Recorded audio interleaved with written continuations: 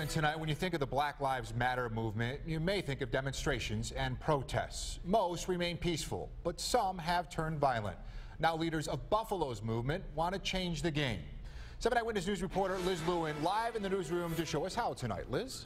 Yeah, Jeff, well, in light of the recent police-related shootings across the country, the Black Lives Movement here in Buffalo says they're looking to take their message to the next level. Their mission has been moving the community one gathering at a time with a nonviolent message that simply reads, Black Lives Matter. And now activists behind the local movement say it's time to formalize this message and unite as a cohesive group. Tonight's senior organizers, Katrina Trina Martin Bordeaux and Duncan Kirkwood announced the official launch of the Buffalo chapter, and they say legitimizing their movement with a board of directors and an agenda will help their message reach Albany.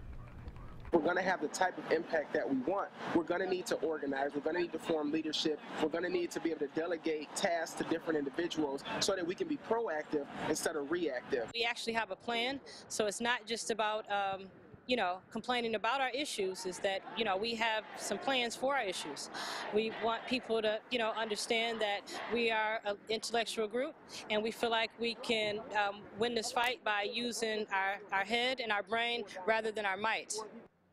And with the first meeting happening this Sunday night at 6 o'clock, the agenda, they say, is already set.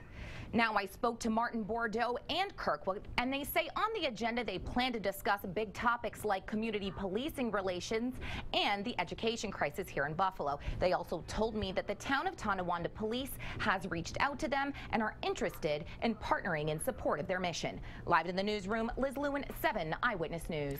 Thank you, Liz.